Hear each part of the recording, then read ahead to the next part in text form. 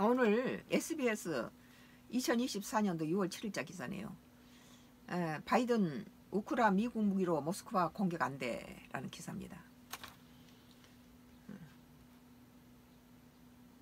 어, 프랑스에서 열린 노르망디 상륙작전 80주년 기념식에 바이든 미국 대통령이 참석했습니다.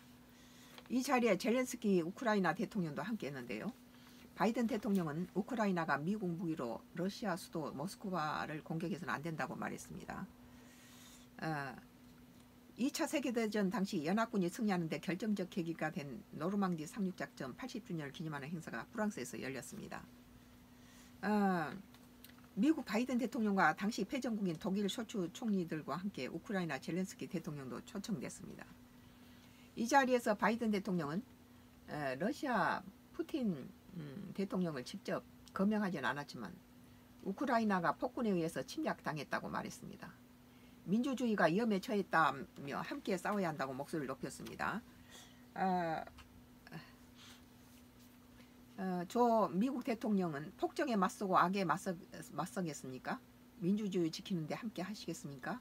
대답은 예입니다. 예일 수밖에 없습니다. 라고 했고 다만 바이든 대통령은 ABC 인터뷰에서 어, 우크라이나가 미국에 받은 무기를 러시아 국경 인근에서만 써야 한다고 강조했습니다. 어, 모스크바 등 러시아 본토 깊숙이 예, 크렘린궁 같은 데는 공격해서는 안 된다는 뜻이죠. 조 바이든 미국 대통령 ABC 인터뷰에서 러시아 쪽으로 200마일 321km 안까지 타격하는 것을 허용하지 않았습니다. 더 깊숙이 들어가서 모스크바 크렘린궁 공격은 승인하지 않았습니다. 굉장히 도덕적이에요. 민주주의고 바이든은.